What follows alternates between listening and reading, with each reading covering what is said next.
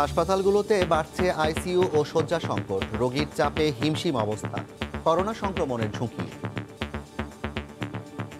ওনারা বলেছে আইসিইউ নাই এবং ওনাদের অপশন আছে যে আপনি যদি আইসিইউতে ভর্তি করেন সেখানে আমাদের কোভিড পেশেন্ট থাকবে।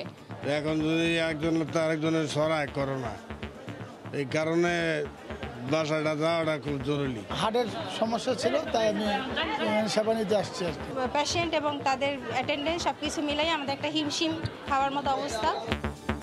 মহামারীতে দীর্ঘ সময় সেবা বন্ধ থাকাই কারণ।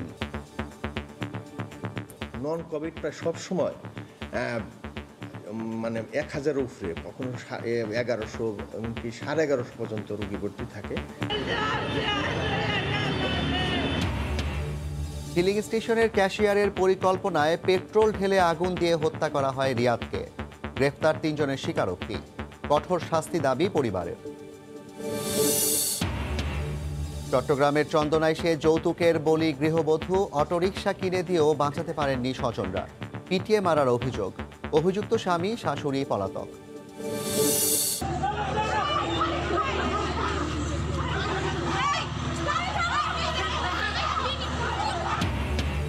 রাজশাহীতে শাহ মখদুম মেডিকেল শিক্ষার্থীদের বেধরক পেটানোর ঘটনায় গ্রেফতার তিন।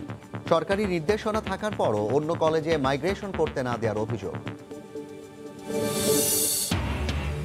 জানুয়ারিতেই হতে পারে মেট্রো রেলের ট্রায়াল। দ্রুত এগিয়ে চলছে প্রথম তিনটি স্টেশনের কাজ। আগামী মাসে জাপান থেকে আসবে পাঁচটি কোচ।